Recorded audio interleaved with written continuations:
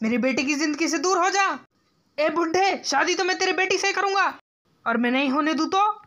तो मैं तेरा तबायफ के साथ नाचने वाला वीडियो वायरल कर दूँगा।